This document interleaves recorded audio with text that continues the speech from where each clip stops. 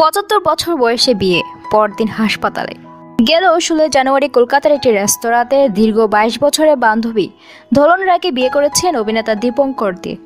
পাত্রের বয়স পঁচাত্তর আর কনের উনপঞ্চাশ তাতে কোনো অসুবিধা হয়নি, বরং বিয়ের আসলে বেশ উৎফুল্ল ছিলেন পাত্র পাত্রী। সাদা পাঞ্জাবি পরনে বর দীপঙ্করকে তরুণ তুর্কির মতো দেখাচ্ছিল। দোলনের পরনে ছিল লাল বেনারসি, খোপায় লাল ফুল, সোনার গয়না সজ্জিত। সিঁড়িতে চড়া সিঁদুর। সব কিছু ঠিকঠাক ছিল। তার পরদিনে কিনা হাসপাতালে ভর্তি হতে হলো দীপঙ্করকে। শুক্রবার গুরুতর অসুস্থ হয়ে হাসপাতালে ভর্তি হন পঁচাত্তর বছর বয়সী এ অভিনেতা। দীপঙ্করের স্ত্রী দোলন জানান, ও দীর্ঘদিন ধরে সিওপিডিতে আক্রান্ত।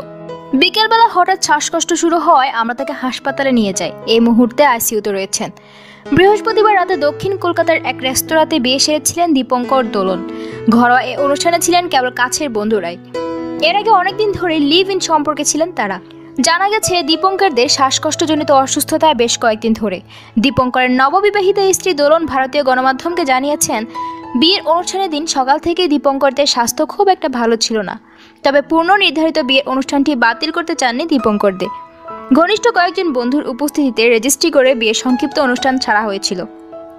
কলকাতার বিনোদন জগতের অধিকাংশ মানুষ এই বিয়ের কথা জানতেন না। শুক্রবার সকাল থেকে শ্বাসকষ্ট বেড়ে যায় দীপঙ্করের। চিকিৎসকের পরামর্শে সতেরো জানুয়ারি সন্ধ্যায় একটি বেসরকারি হাসপাতালে ইন্টেন্সিভ কার্ডিয়াক কেয়ার ইউনিটে ভর্তি করা হয় তাকে। দীপঙ্কর দে আপাতত পর্যবেক্ষণ রয়েছেন। তার স্বাস্থ্য সংক্রান্ত একাধিক পরীক্ষা নিরীক্ষার পরামর্শ দিয়েছেন চিকিৎসকেরা। বাংলা ছবি ও বাংলা ছোট পর্দার জনপ্রিয় অভিনেতা দীপঙ্কর দে বেশ কয়েক মাস ধরে কাজ থেকে বিরতি নিয়েছেন, তবে তার স্ত্রী দোলন রায় টেলিভিশনে ব্যস্ত সময় পার করছেন।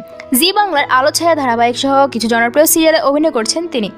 প্রিয় দর্শক, এই নিয়ে যদি আপনার কোনো মন্তব্য থাকে কমেন্ট বক্সে জানিয়ে দিন আর ভিডিওটি শেয়ার করতে ভুলবেন না। নিত্য নতুন খবর খবর ও আপডেট পেতে আমাদের চ্যানেলটি সাবস্ক্রাইব করে সাথে বেল আইকনটি বাজিয়ে দিবেন।